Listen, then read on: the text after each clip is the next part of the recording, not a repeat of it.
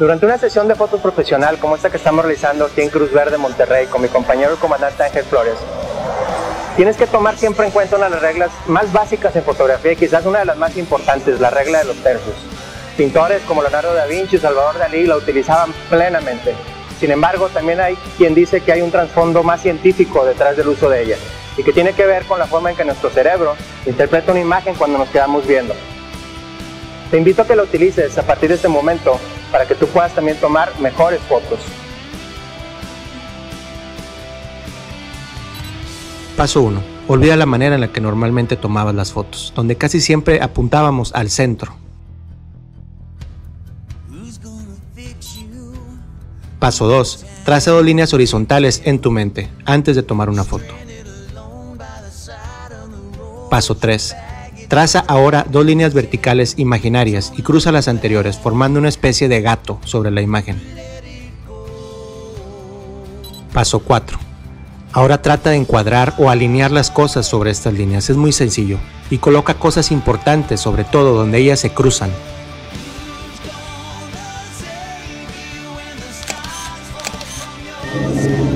Recuerda, ninguna fotografía vale más que tu vida. Revisa siempre tu entorno y utiliza un chaleco reflejante. Paso 5. Acostúmbrate a observar imágenes donde se aplique esta regla. Casi todos los profesionales la utilizamos.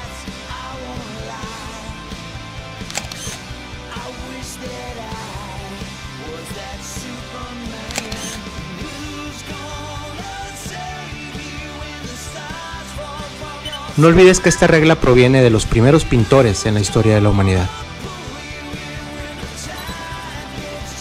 Paso 6. Recuerda que para la regla de los tercios solamente necesitas acomodar la imagen en tu cámara y aplica para cualquier cámara.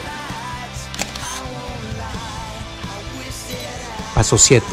Practica y practica más. La ventaja de las cámaras digitales pues es que no nos cuesta nada tomar una fotografía. No te resistas a utilizar esta regla. Sé que al principio es difícil, pero al final va a ser tan sencillo como cuando te acostumbras a manejar un carro. De hecho, si pones atención, la vas a ver aplicada en televisión, en cine, revistas y hasta en los panorámicos. Lo más sencillo es que a partir de este momento te decidas a practicarla y a utilizarla y te des cuenta que todo lo que habías visto hasta el día de hoy en fotografía estaba fríamente calculado.